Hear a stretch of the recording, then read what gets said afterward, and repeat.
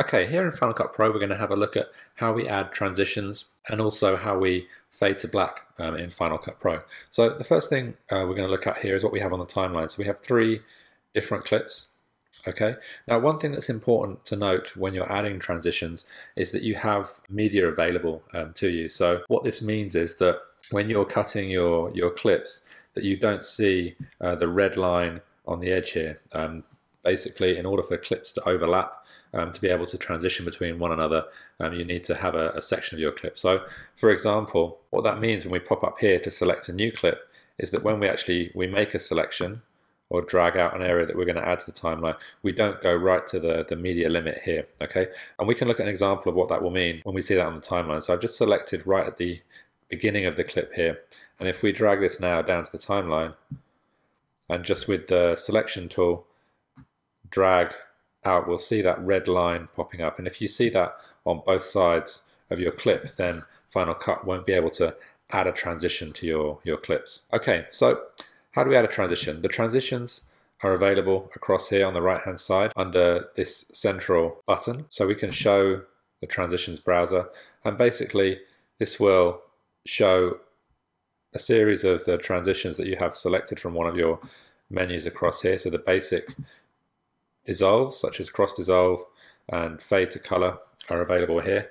So if we scroll over these, it's going to show us preview of that transition. So to add a transition is really simple. We can just click and hold on it and drag it across to the timeline here and you can see the transition is added. This orange line at the top here means that the transition is rendering in the background now. So we can still play it through by hitting the spacebar and it will give us a preview of that. But when we stop editing now, you'll see in the central bar here, we just had a little background render going on and Final Cut's now rendered that transition. So we have some cross dissolves available here. If we want to access some information about those cross dissolves, we can go up to the window, to the inspector, and we can see some information about that. Okay, so for a cross dissolve, it'll be pretty basic information. We can change things um, for the audio fade, which is added automatically here.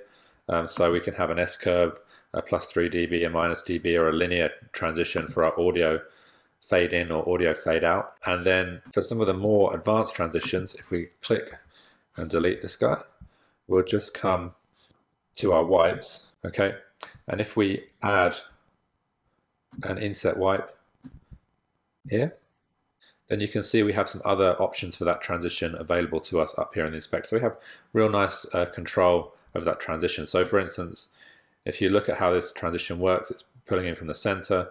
We can either come here to change the center point. So we can move the, the center of where that transition's going to happen. So we could move it to around the focal point of the, the next clip. Okay. We can also change the edge treatment up here. So we can have a faded or feathered border. Okay, and increase that. Or we can change it to solid color or noir. Okay, and you can see how that now fades in nicely over the top. And again, if we hang on, we'll see this orange bar disappear once we click away from the timeline and Final Cut does its background rendering. Okay, so to fade to black or to a different color, if we scroll up and come back to our dissolves, you can see we have a fade to color dissolve. And if we drag that onto the end of our clip, we'll get a fade to black. Okay, now the nice thing about using the fade to color is that we can change it if we want to. So if we click on the color here, then we can pick a color that we've previously chosen and we can use the hue, saturation, brightness sliders, or we can switch to an RGB slider if we want to type in a certain value, or jump to the other tools for setting um, particular colors. So we can set a particular color that we want to fade to. Okay, we can also click on the downward pointing arrow here, which brings up a different color picker, and we can pick out a color that we want to fade to. So now when we fade, it's going to fade to that color. Okay, so that's a quick overview of how to add a transition and how to add a, a, fade to black or a fade to a color at the end of your film. If you have any questions about Final Cut Pro 10, please don't hesitate to send me a tweet at Ben Halsall, and I'd be happy to answer any of your questions.